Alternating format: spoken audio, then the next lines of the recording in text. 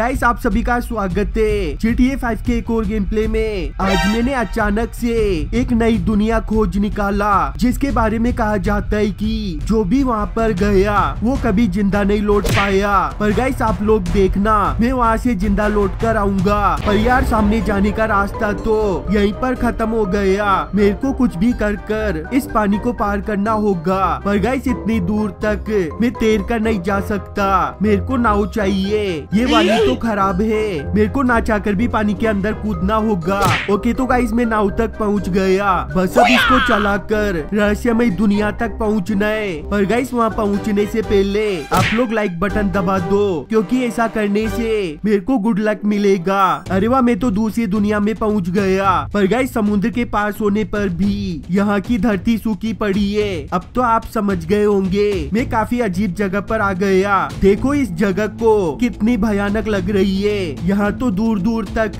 कोई भी नज़र नहीं आ रहा। मेरे को लगता है ये जगह पूरी तरह से वीरान है। ओ माई गॉड ये अचानक से सामने से यूएफओ कहाँ से आ गया? गाइस इसके अंदर तो हो सकता है एलियन हो।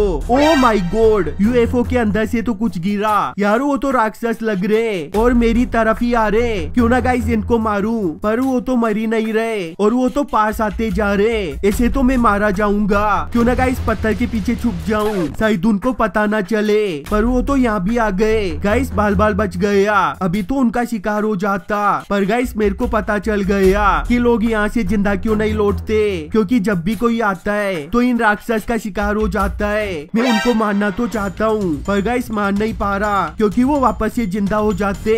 देखो कितना करीब आ गए। क्यों ना इनके ऊपर बम फेंक दू? शायद उससे इनकी रफ्तार कम हो जाए, और मेरे को भागने का मौका मिल जाए। क्यों ना गाइस सामने की तरफ़ पहाड़ों के ऊपर चढ़ जाऊँ। हो सकता है वो राक्षस पहाड़ पर ना चढ़ पाए। अरे वाह, मेरा आइडिया काम कर गया। वो सभी तो नीचे रह गए। क्यों ना गाइस पैदल चलकर मैं और ऊंचाई पर चला जाऊँ। ओ भाई साहब, सामने तो एक गाँव नज़र आ रहा है। हो सकता है वहाँ पर मेरे को कोई इंसान मिल जाए। फिर मैं उससे मदद मांग लूँगा।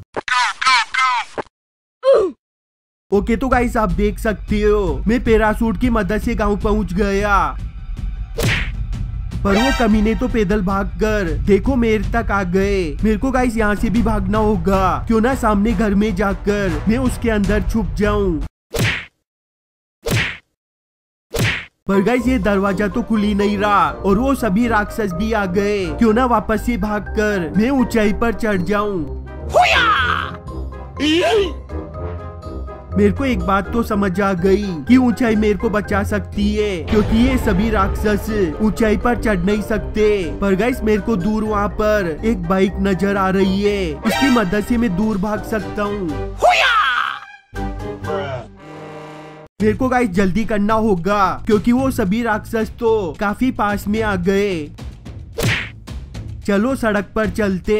पर गाइस काफ़ी धूप की वजह से मैं काफ़ी ज़्यादा थक गया। और सच बताऊँ तो मेरे को प्यास भूख लग रही है। अरे वाह सामने तो देखो एक और गाँव नज़र आ रहा है। अरे भाई भाई भाई क्या भाई मेरी बाइक तो फिसल गई और गाइस उसकी वजह से मैं गिर गया। मेरे को लगता है सामने रेस्टोरेंट है। पर गाइस इसके अंदर तो कोई भी नज़र नहीं आ रहा। हो सकता है उन सभी को।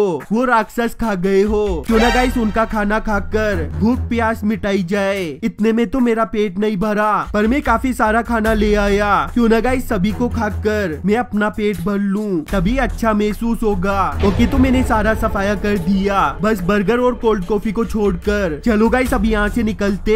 देखो, सामने मेरी बाइक पड़ी। पर आखिर में जाऊँ का क्योंकि गाइस काफ़ी समय बीतने के बाद भी एक भी इंसान नज़र नहीं आया। पर मैं हार नहीं मानने वाला। उनको खोज कर ही रहूँगा। ओ माई गोड ये राक्षस तो कितना बड़ा है। कहीं वो मेरे को निकल ना जाए। गाइस उसने तो लात मार कर मेरे को सड़क से दूर फेंक दिया।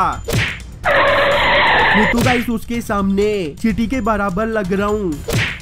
Oh no! वो तो अपनी पावर काम में लेकर मेरे को आसानी से मार देगा। क्यों ना गाइस वापस भागकर बाइक के पास पहुँच जाऊँ? वो बाइक तो सामने पड़ी है। अब मेरा काम बन जाएगा। उसके अंदर से तो पेट्रोल निकल रहा है। ओ माई गॉड पेट्रोल ने तो आग पकड़ ली। क्यों ना गाइस दूर भागकर मैं उसके धमाके से बच जाऊँ? लेकिन वो राक्षस तो बाइक के काफ़ी करीब आ गया। और गाइस बाइक में तो धमाका हो गया। कहीं वो मेरे ऊपर ना गिर जाए। चलो बाल बाल बच गया। लेकिन धमाके की वजह से उस राक्षस का काम तमाम हो गया। देखो गाइस इसकी आँखें। अभी तक खुली हुई है। अगर आपको आज का वीडियो अच्छा लगा हो और चाहती हो मैं ऐसे शानदार वीडियोस बनाता रहूँ तो वीडियो को लाइक कर कर चैनल को सब्सक्राइब कर लेना।